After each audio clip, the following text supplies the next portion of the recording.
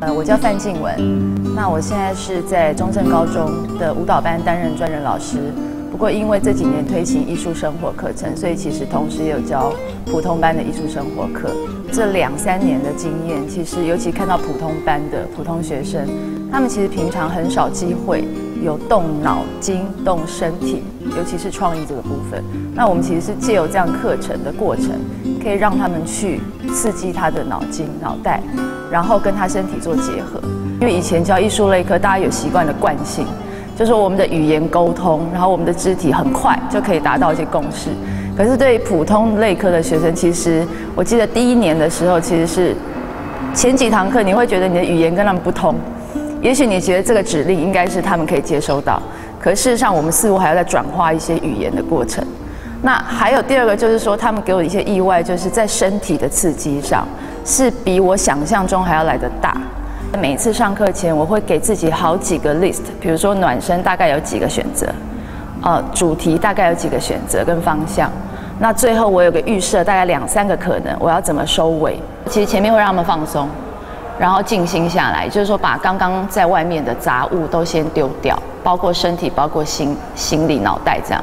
然后静心过程，呃，大概十到二十分钟后，可能可以慢慢进入到我身体的开发。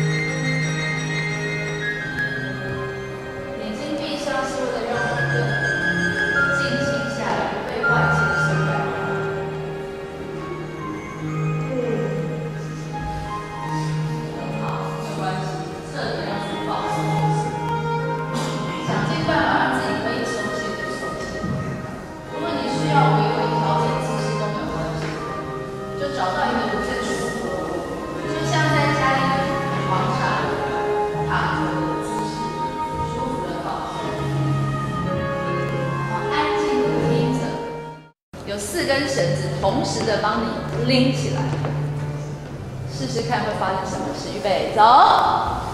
四肢的末梢全部都启动，四肢末梢全部启动。好，一样的瞬间，一起剪断，走。你也不需要管别人做什么，试试看，预备，走。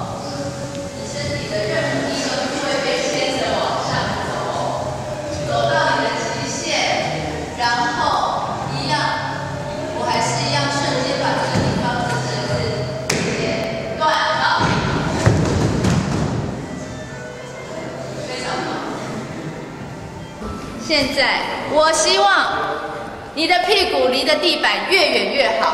走，停留在你选择的姿势，不要动。停站的很好，很好，非常好。不管别人做什么选择，就停在那个位置上。好，请你手肘碰到头。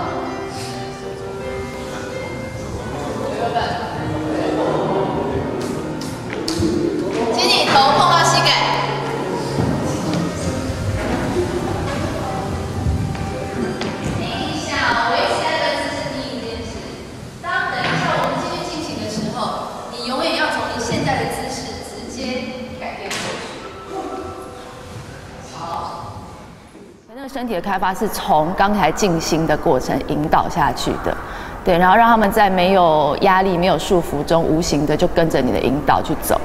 那那个走的内容，其实就像我刚刚提的，可能会有一些它不难，但是就是你如何引导，让他们顺顺遂的跟着你，然后如何从地板再慢慢的站起来，我觉得那是一个过程。那站起来后，有时候我就开始觉得，可能开始有一些要流动的部分。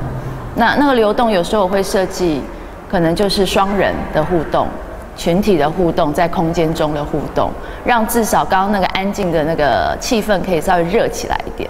这是那个气氛的部分。那所以，嗯，如果我是想设计声音与肢体的话，也许就像我可能会利用空间中的声音，然后让学生打开他的敏感度，然后去感觉声音在哪，然后或者模仿一些声音，这是一个互动的过程。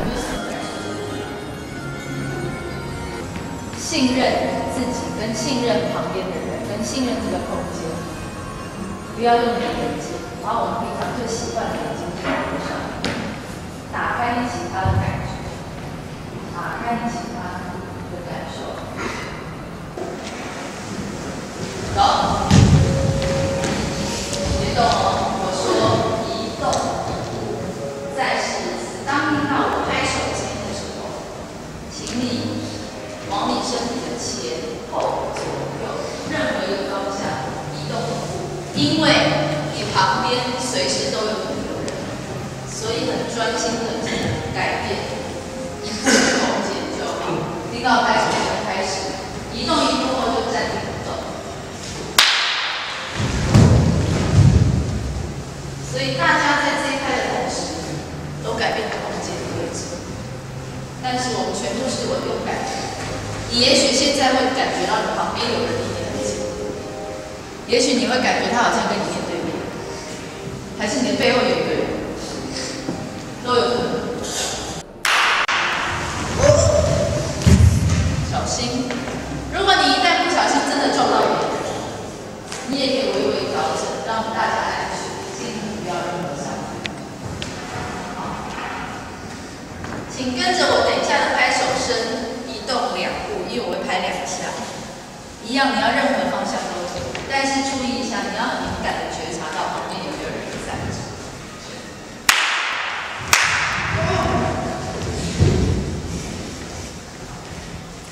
非常好，已经有人感受到我旁边好像有人，我下一步该怎么做？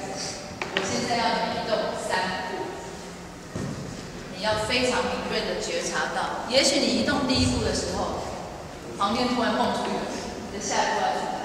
就完全用你身体的感觉走这三步，对不对？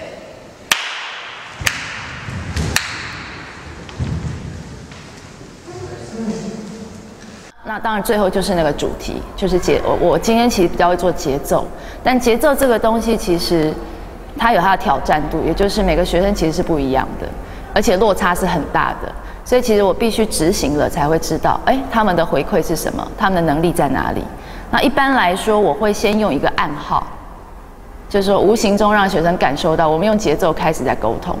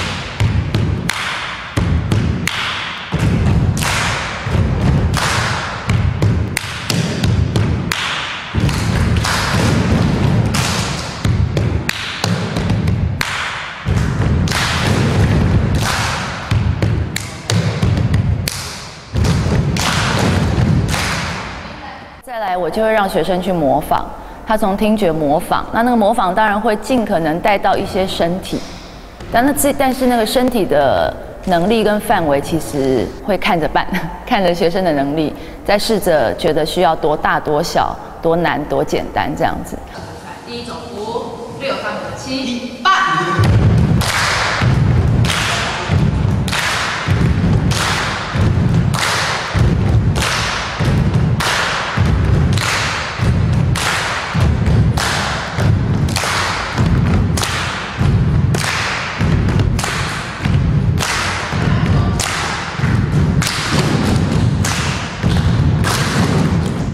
这个身体其实它可以有个很简单的做法，它其实可以从节奏训练到他们的手脚协调性。